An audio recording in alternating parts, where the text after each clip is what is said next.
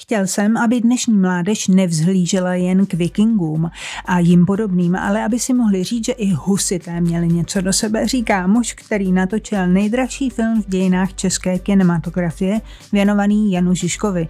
Podařilo se mu do něj obsadit takové hvězdy, jako je filmová legenda Sir Michael Caine nebo Till Schweiger. Do kin jde už za pár týdnů 8. září a o den později do kin amerických český scénárista, režisér a producent Petr Jákl, mým dnešním hostem. Vítejte, dobrý den. Dobrý den. A hezký den z Plusu přeje Barbara Tachecí. Osobnost Plus.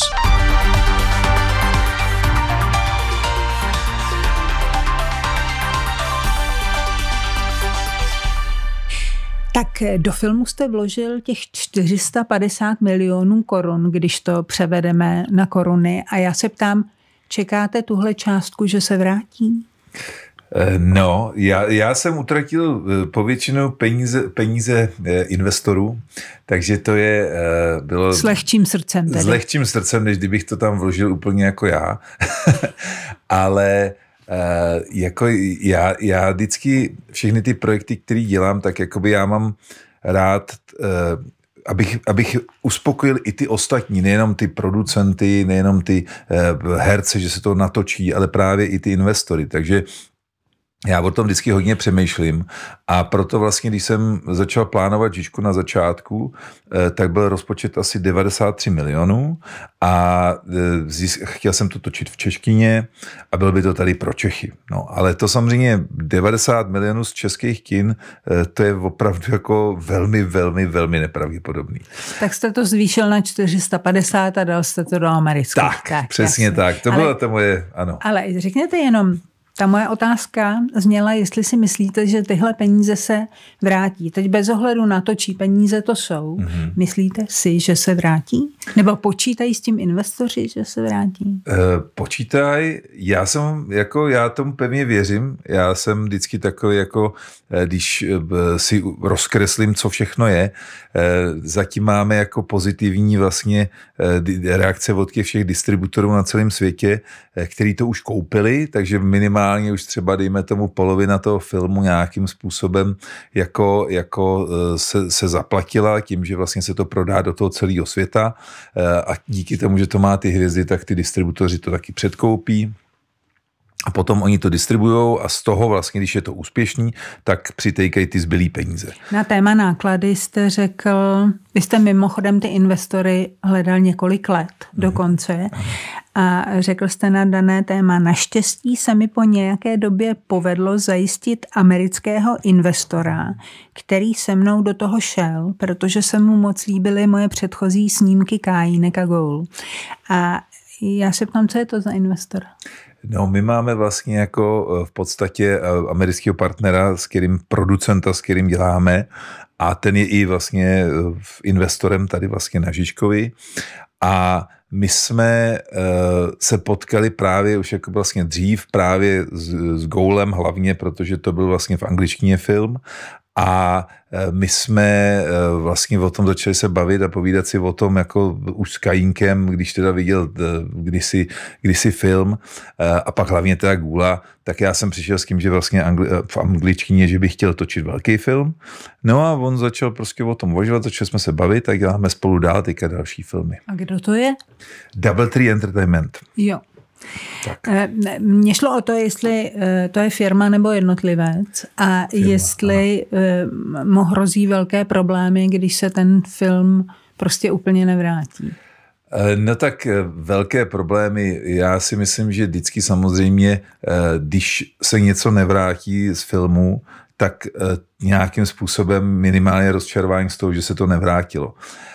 Problémy myslím, že ne. Myslím si, že to má zařízeno tak, aby ty problémy neměl ale samozřejmě vždycky ta investice, eh, ona u filmu jde o to taky, že vlastně jde hlavně eh, o dlouhodobou investici. Že se to nemusí vrátit úplně z prvních zisků a hned, ale ten film vydělává vlastně 50 let a v podstatě, když je dobrý, tak každý rok vydělává zajímavý peníze. V prvních letech velký peníze, potom menší, ale furt velmi zajímavý. Takže to je taková ta Říká Petr Jákl, můj hmm. dnešní host.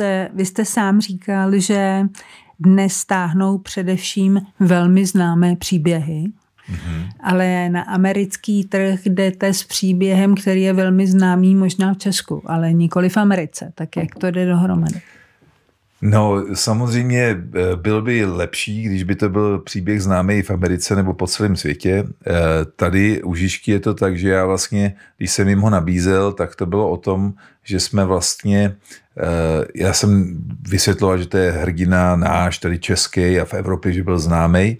A pak jsem si přečet na Wikipedii, že tam je vlastně napsáno, že v anglické Wikipedii, že je to jeden ze sedmi nikdy neporažených vojevůdců, jako byl Čingis Khan nebo Alexandr Veliký.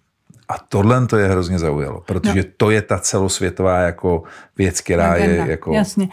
Když se to mimochodem, když se e, v Česku ten film jmenuje Jan Žižka, jak se bude jmenovat v Americe? V Americe se bude jmenovat Medieval, což je jakoby středověk nebo středověký a dlouho jsme to hledali, zjišťovali jsme a můj, můj kamarád vlastně Rob Cohen, který je režisérem taky třeba Triple X nebo Rychlá zběsile, tak vlastně měl dělat takovýhle film, pak on nenatočil a já jsem si ten název jako přisvojil.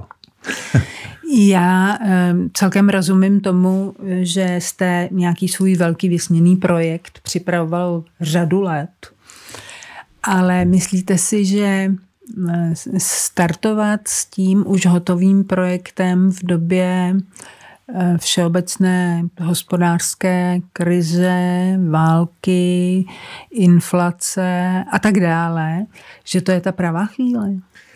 No, tohle to je samozřejmě jako ve chvíli, kdy přišla pandemie a já jsem film musel o dva roky posunout, tak jsem nad tím takhle začal přemýšlet. Ale ve chvíli, kdy začala válka, tak já vlastně uh, jsem si říkal, že ta doba na ten film je daleko lepší teď, eh, že vlastně ten film je o boji za svobodu, o naději. A já myslím, že teďka to poselství z něho je daleko větší. A ve chvíli, kdy tady vidíme, že nedaleko nás se bojuje hmm. a všichni jsme z toho vyděšení a snažíme se nějak pomoct, tak vlastně ten film je o tom. To je prostě, on to není eh, příběh husických válek. Je to krátký období z roku 1402, Čili z doby, doby Žižkova mládí. Žižkova vlastně. mládí, přesně tak, ale je tam všechno o tom, jako proč vlastně husiti potom, eh, proč ta politika, tam je přišlo strašně podobná té dnešní době právě, to je tak, taky s tím souvisí, že ty politici jeden den pracovali spolu, druhý den proti sobě a pak zase spolu. Hmm, hmm. A e, nic neplatilo. A ty lidi, vlastně ty běžní lidi ztráceli víru a v to mě vlastně jako zajímalo na tom, jak se pak vlastně spojili a neřeším, jestli jako husitství je správný, špatný, ale ten princip toho, že si lidi jdou pom- pomoct anebo se něčem postaví, tak ten je, myslím, jako takový to, co mě na tom hodně zajímalo. Mimochodem máte pocit, že eh, po Žižkovi jsme zůstali takovým statečným národem, nebo se to někde v průběhu dějin ztratilo? Já mám Čechy hrozně rád jako, jako povahu. Jo. Já jsem, já naopak jsem takový hrdý vlastenec. A já to furt, i proto jsem dělal film o Janu Žižkovi a já jsem jako sportovec, když jsem nosil prostě lvíčka na prsou, vlajku na rameni, tak jsem se cítil skvěle, když hrála eh, vlastně eh, česká hymna, když jsem vyhrál někde v judu teda v té době, tak, eh, tak to bylo skvělý. A já to mám do dneška. A já, jak jsem procestoval celý svět, tak vidím jako vlastně tu výhodu těch Čechů. My jsme na jednu stranu jako máme i něco z toho Žižky, že když je potřeba, tak jdeme teda bojovat za cokoliv, ale i z toho švejka a dokážeme se domluvit. A já mám hrozně rád lidi, kteří prostě eh, se dokážou domluvit a vymyslejí to tak, aby to bylo pro obě strany jako snesitelný, protože ta pravda nikdy není jenom na jedné straně. Vždycky no, je to i obou strany trošku. Rozumím tomu, co říkáte na druhou stranu. Když se podíváme na dva stěžení okamžiky minulého století, tak eh, pokud jde o um, obsazení Prahy uh, nacisty a celého Česka, tak jsme bojovat nešli. Pokud v roce 68 došlo k obsazení Prahy eh, ruskými tanky především, tak jsme taky bojovat nešli. Tak proto jsem se ptala na tu statečnost. Protože takhle představuji si to možná naivně, s mlhavými vzpomínkami na Jana Žižku, ale Jan Žižka by šel bojovat. No, je to, je to samozřejmě, je otázka. Tam je, tam je to o tom, že samozřejmě v dnešní době a v 20. století už ty komplikace těch válek byly trošku jiný, protože samozřejmě, když se někdo domluvil za zády někoho, někoho obsadit a tak dále, jako byla to komplikovaná situace. A já myslím, že samozřejmě nedokážu soudit přesně, co v té době bylo lepší nebo horší, ale eh, vím, že vlastně jakoby ty lidi se svým způsobem postavili, i když třeba nebojovali, ale prostě bojovali proti tomu jiným způsobem. Já si nemyslím, že je vždycky správně bojovat ze zbraní v ruce. To já si nemyslím. Já naopak si myslím, že daleko lepší právě i to umění hodně pomáhá, nebo prostě vůbec jakoby vlastně eh, ty lidi, kteří eh, můžou pomoct nějakým způsobem eh, obecně šířit nějaké informace. Takže ten boj je pro mě jako velmi široký pojem a mně se zdá, že jsme bojovali v mnoha situacích jako pozitivní, správně, tak jak bylo Určitě správně. mě zajímalo mm. jenom, jak vidíte tyhle dvě, tyhle dvě hlavní události mm. minulého století. Řekněte mi, Uh, vy už jste řekl, že vlastně nejtěžší část práce na tom filmu bylo přesvědčit ty neuvěřitelné, tak ta neuvěřitelná jména eh, herečka, aby do toho s vámi šli. A když jste třeba diskutoval eh, s panem Kanem, Michaelem, Sirem, hmm. tak jaký argument ho nakonec přesvědčil, že do toho má s vámi jít? No, tam eh, zrovna u toho Michaela to bylo takový jako zvláštní, že vlastně on eh, si přečetl scénář a poměrně velmi brzo po tom, co ho dostal, což nebejvá zvykem, ty herci si dávají hrozně na čas a prostě furt říkají, už to, už dáme vědět a zase týden další uběhne a nic. A on mě vlastně zavolal z neznámého čísla, já byl na chatě, asi to pamatuju jako dneska, zvednul jsem to a on říká, halo, tady Michael Caine. A já říkám, eh, teďka jsem myslel, že to někoho a on říká, e, máš lovely, krásný scénář. A já, já, já říkám, jo, moc se těším na natáčení. A já myslel, že mě omejou, ale nebyl jsem schopen vůbec nic Počkejte, říct. to on se přihlásil, že by tam chtěl hrát v tom no, vašem no, scénáři. On dostal, on, dostal, on dostal od nás nabídku, eh, producent můj vlastně můj poslal, Eh, nebo jako spoluproducent, s kterým vlastně jsme to dělali a on eh, zareagoval tak, že si to přečetl, pak dostal, dostal na mě kontakt a zavolal mi. Ale ještě jenom k tomu jedna věc, jo. ten producent, to se jmenuje Cassian Elves, ten vlastně uh, udělal asi 100 filmů, všech možných velkých, různých i oceněných Oscarama a celý život měl sen pracovat s Michaelem Kanem, protože on je z Británie a jako 13-letý se s ním vyfotil.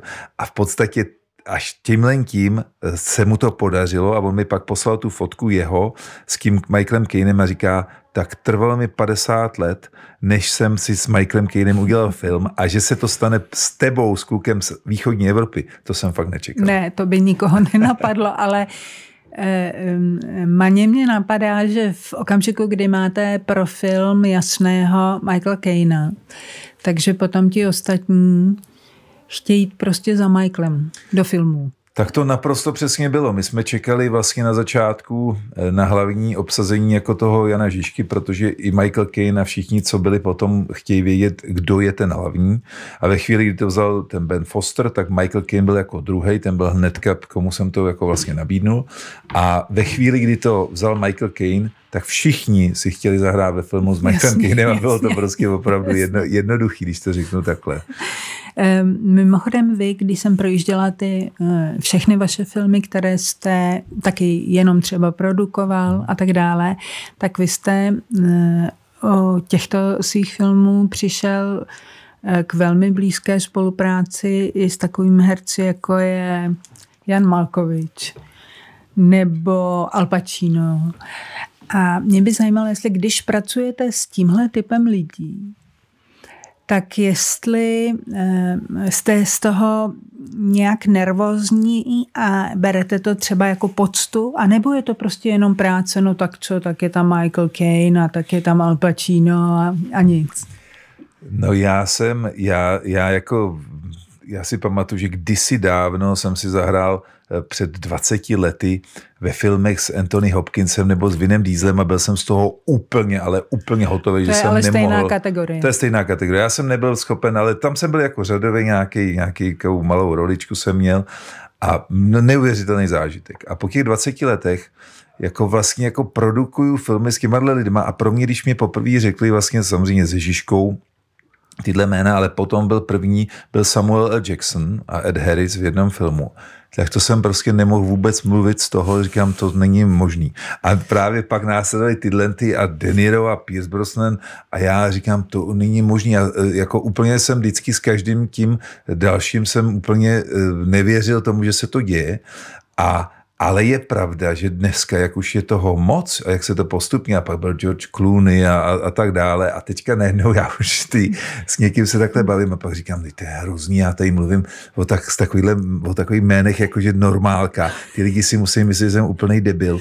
Takže furt to mám v sobě, ale jak je toho už hodně, tak už to pak člověk vezme jako ten běžný ten. No. Jasně, ale teď nechci být vůbec vaším psychoanalytikem, ale jenom chci říct, když prostě z kaskadéra a herce vedlejších rolí se stane producent, režisér, scénárista takovýchhle velkých filmů s velkými hereckými hvězdami, tak řeknete si, já myslím, že víc už bych si toho od životu neměl přát. Nebo co si říkáte, kam dál? Kam no já, dál? Já, to, já to mám tak, že já vlastně měl dva životy, nebo ten druhý ještě žiju. A ten první byl sport, to bylo judo. Já jsem nikdy nebyl kaskadér, oni všichni říkají jako kaskadér, ale to byl koníček, jako kdyby hrál kuželky. Jak jsem byl kaskadér. Byl jsem na filmech, byl jsem tohle, ale vždycky jsem byl sportovec a to jsem dělal a byl jsem jako profesionální sportovec a pak vlastně já jsem se zranil, ale končil jsem svoji kariéru v 27 olympiádou v. Sydney. A to byl pro mě neuvěřitelný život a žil bych ho dál jako sportovec, protože to bylo něco, co jsem hrozně chtěl, ale prostě to zranění mi to nedovolilo. No a já jsem v tu chvíli dostával právě, jsem dostal právě takovýhle ty malé roličky v nějakých těch filmech velkých amerických tady, což bylo fantastický a já jsem si tři roky prostě žil jen tak, že jsem si prostě potuloval tady z filmu na film. Do Ameriky mě pozvali, byl jsem v Americe, tam jsem studoval nějaký herectví a prostě jsem se učil anglicky a byl to pro mě úplně takový jako prostě krásný život a najednou se to dostalo do toho, protože táta produkoval filmy vlastně tady v Čechách, tak jsem se k tomu jako přifařil a začal jsem, nějak to začalo růst. No a já jsem začal plnit ty sny a vlastně jsem to vůbec neplánoval, že bych byl režisér, ale hrozně mě to bavilo. Eh, producent takovýhle filmu, tak já jsem, já jsem si to hrozně užíval. A pro mě vlastně nikdy tyhle věci nebyla práce. Nikdy. Já jsem nikdy nepracoval, nikdy jsem nebyl u někoho zaměstnaný, ale vždycky jsem makal naplno, protože jsem z toho sportu byl zvyklý. Jenom mi řekněte, já jsem vždycky možná naivně tedy eh, žila v tom, že eh, taková ta opravdu silná kinematografie, jako je třeba americká, takže je uzavřená a sakra si rozmyslí, než eh, mezi sebe někoho pustí na to špak někoho z Česka. No, Takže se ptám jenom, jak se to stane, že český režisér, ale najednou hups a režíruje pro Američany. No, je to tak, že vlastně tam, já myslím, že za to může judo.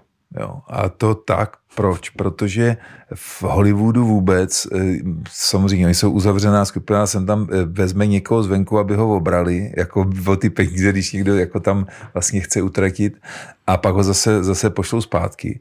Ale jde o to, že vlastně ono, eh, to, že já jsem slíbil něco, a udělal jsem to. Hmm. Pro ně mělo obrovskou hodnotu.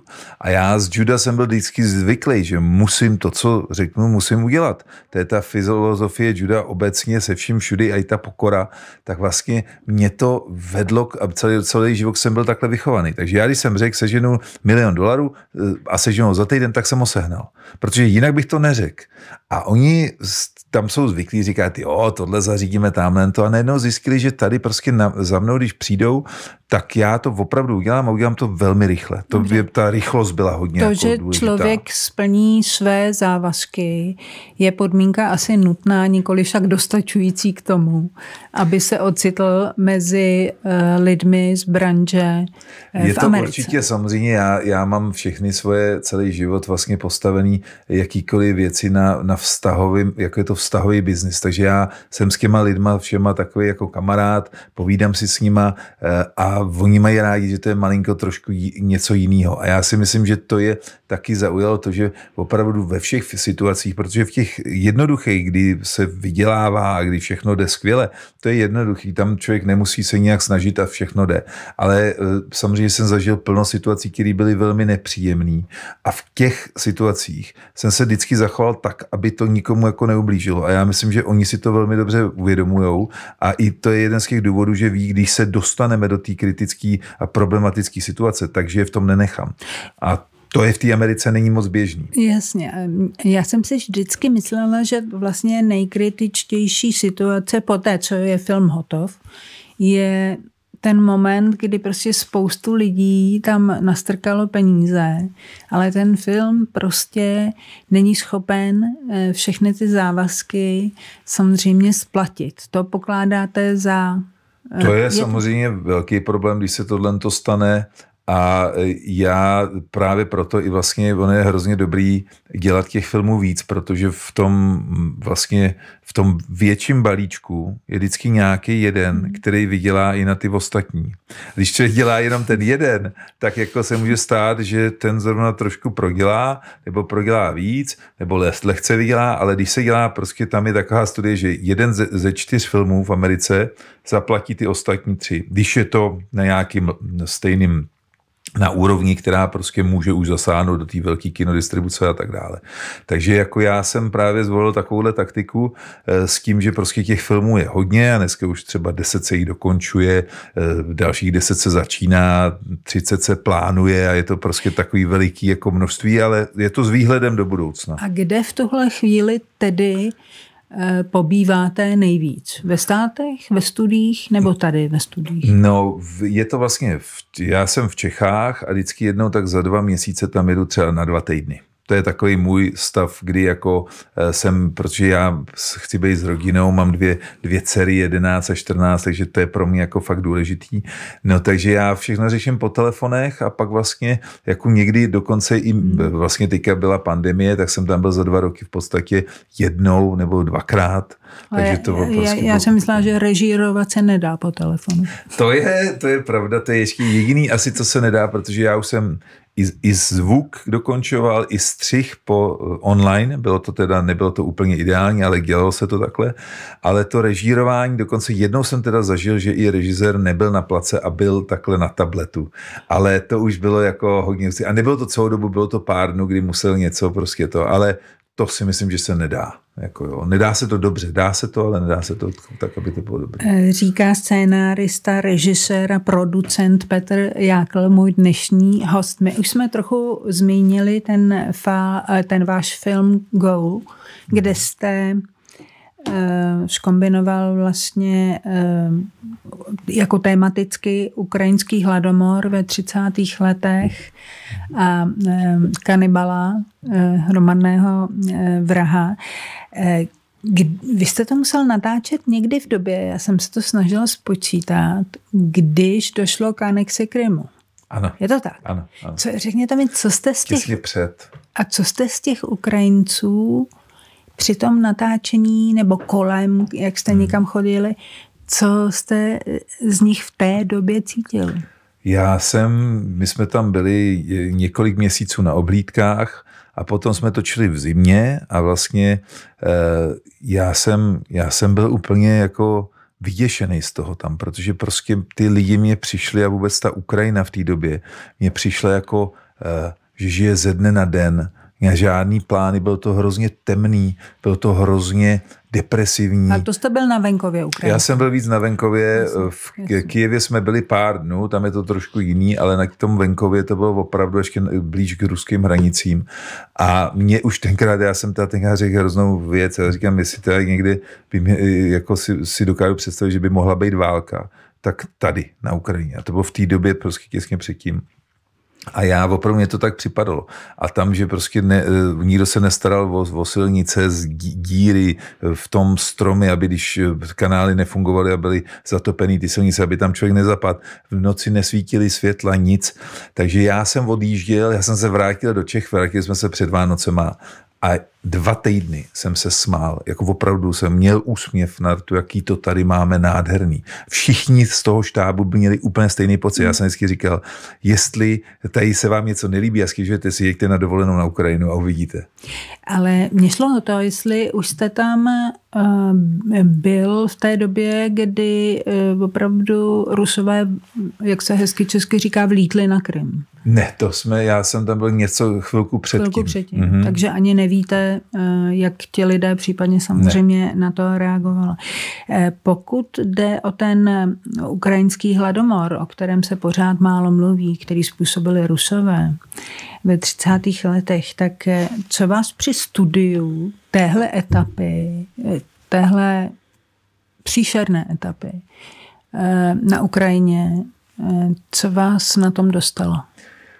No, já jsem tam právě dělal i pro film vlastně dokument na začátku jako s těma skutečnýma ne, jakoby lidma, který vlastně to zažili a ty o tom mluvili a mluvili o tom, jak prostě jedli bukvice, jak jedli, jak jedli věci vlastně to, co našli v lese a, a prostě hrozný to, ale pak prostě nám tam paní povídala, že, že snědl je, jako sousedka umřelo dítě a prostě i to dítě snědl, no prostě strašné věci, takže to, to jsme byli úplně hotoví a myslím si, že na tom bylo úplně hrozný naprosto všechno. Tam prostě nebylo nic pozitivního a na těch lidech to furt ještě bylo poznat jako to, že jako to měli v sobě. Takže to bylo, to bylo hodně těžké, ale já jsem chtěl právě tím, že to byla fikce a realita, tak jsem furt z té reality chtěl něco připomenout jinou formou, ale prostě připomenout, že to někdy bylo. Protože lidi na to zapomínají a na tyhle ty věci prostě by se nemělo úplně zapomínat. Eh, víte, eh, když, a to mluvím nejen o tomhle filmu, ale teď především o tom Janu Žižkovi, eh, vašem, když jste ty věci dával dohromady, reálně jsme všichni prostřednictvím médií byli svědky toho, jak Rusko napadlo Ukrajinu mnohokrát za sebou, naposledy teď aktuálně v letošním roce. Nezdá se vám, že je vlastně strašně jednoduché spadnout do války?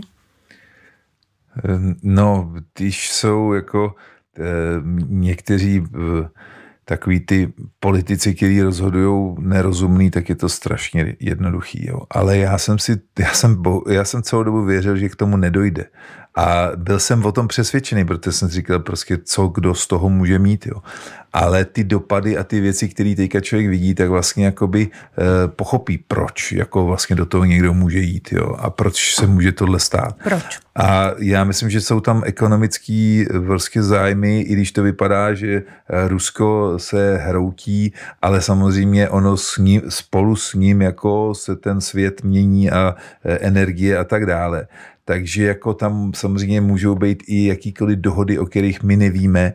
A já jako ta vysoká hra, a to právě i u toho Žižky, když jsem zjistil, jak ty králové se šlechtou a byli spolu proti sobě a nikdo o tom nevěděl, tak já prostě nevím. Je to, je to hrozně zvláštní a v podstatě jako eh, je to něco, co já bych absolutně nečekal, ale myslím si, že opravdu velká, jako velký důvod, proč se něco takového děje, je jako ekonomie, ekonomický. Ať je to jakýkoliv, který nedokážu jako popsat, ale myslím si, že, že v tom roli hrajou peníze a že to je něco, co to Říká scénárista, režisér, producent Petr Jákl, kterému jde do kin 8. 8. 8. září. září jeho nový nejdražší film v české historii kinematografie. Uh, Jan Žižka, tak zlomte vás. Děkuji moc a i 8. září jde do eh, prodeje vlastně kniha o, o tom, jak se točil film, nebo je rozšířená realita, lidi si můžou prohlídnout vlastně i kostýmy a zbraně z filmu a scény další, takže ta je taky, ta bude ve stejnou dobu a těším se na, na obojí. Držím palce, mějte se hezky. Tak jo, děkuji, mějte se hezky. A hezký den z Plusu vám přeje taky Barbara Techecí.